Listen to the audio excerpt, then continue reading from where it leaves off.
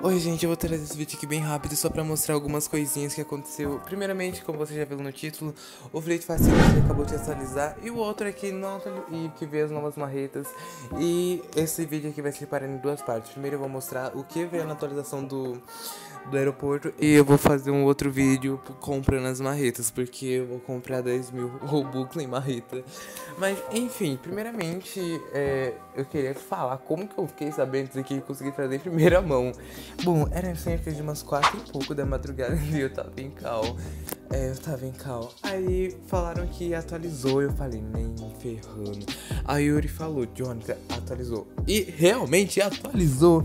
Então a gente jogou e viu que o aeroporto deu uma modificada e tá tudo explicadinho no canal do Dilo caso vocês queiram ver mais detalhados.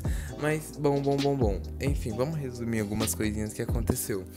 É, veio os novos marretos de Natal e uma de Dia dos Namorados, do qual eu achei ela muito fofa. Mas, ok, não veio nenhum mapa novo, infelizmente. Mas veio pelo menos o item de Dia dos Namorados, que tem um símbolo de coração. Eu achei muito fofo, então eu vou comprar uma pra mim.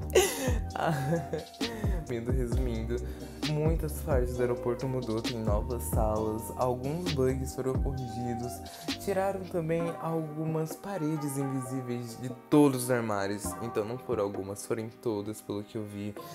Bom, enfim, eu vou tentar deixar algumas partes que modificou na tela e eu vou trazer um próximo vídeo com tudo explicadinho, eu comprando as novas marretas, porque eu realmente tô com muita pressa pra editar esse vídeo, só queria falar mesmo que o Free atualizou. E é isso, fui!